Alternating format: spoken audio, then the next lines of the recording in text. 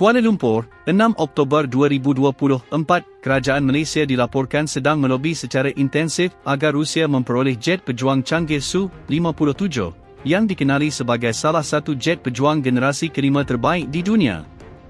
Langkah ini telah menyebabkan perhatian meluas di rantau Asia Tenggara kerana Su-57 adalah pesawat pejuang siluman dengan keupayaan teknologi canggih yang boleh meningkatkan keupayaan pertahanan udara negara dengan ketara. Menurut beberapa sumber, Malaysia melihat Su-57 sebagai pilihan strategik untuk meningkatkan kuasa tempur tentera udara mereka dalam menghadapi potensi ancaman dan meningkatkan keseimbangan kuasa di rantau yang semakin dinamik. Jet pejuang ini direka untuk cemerlang dalam pertempuran udara, misi serangan darat dan operasi anti kapal, dengan pelbagai keupayaan canggih seperti radar EESA, aktif elektronik cari skanet arai, teknologi siluman dan sistem avionik termaju.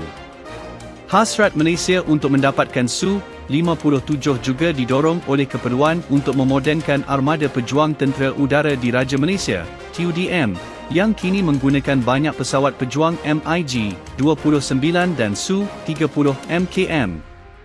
Sebahagian besar armada semakin tua, dan Malaysia perlu meningkatkan kuasa udaranya untuk menangani ancaman keselamatan serantau yang semakin meningkat, termasuk pertikaian sempadan dan peningkatan ketenteraan di Laut Cina Selatan.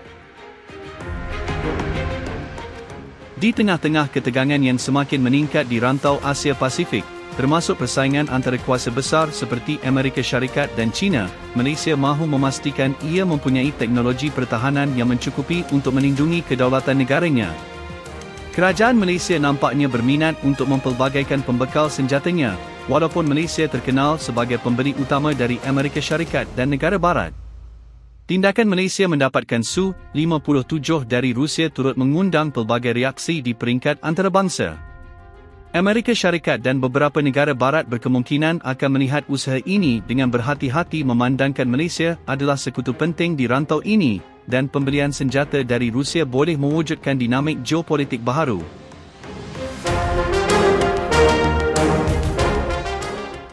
Sebaliknya, Rusia melihat ini sebagai peluang untuk mengembangkan pengaruhnya di Asia Tenggara dan mengukuhkan perkongsian strategik dengan negara-negara di rantau ini. Rusia telah lama menjadi pembekal senjata kepada banyak negara dan penjualan Su-57 kepada Malaysia akan menjadi langkah penting dalam mengembangkan pasaran ekspor senjata Rusia.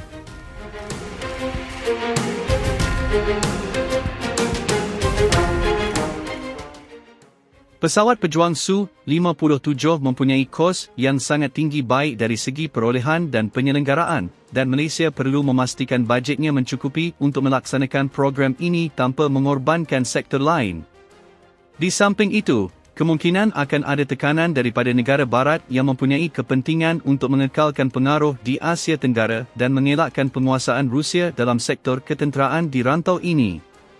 Perjanjian perolehan Su-57 juga mungkin menghadapi cabaran teknikal dan operasi, memandangkan kerumitan teknologi jet pejuang itu. Malaysia perlu memastikan tentera udaranya bersedia untuk mengendalikan pesawat pejuang generasi kelima ini dan mampu memanfaatkan teknologi canggih di dalamnya. Usaha Malaysia memperoleh jet pejuang Su 57 dari Rusia menunjukkan kesungguhan negara itu dalam memperkukuh pertahanan udaranya dan menyesuaikan diri dengan perubahan dinamik geopolitik. Jika berjaya, langkah ini akan meningkatkan kedudukan strategik Malaysia di rantau Asia Tenggara, tetapi juga berpotensi menimbulkan cabaran diplomatik dengan sekutu lamanya di barat.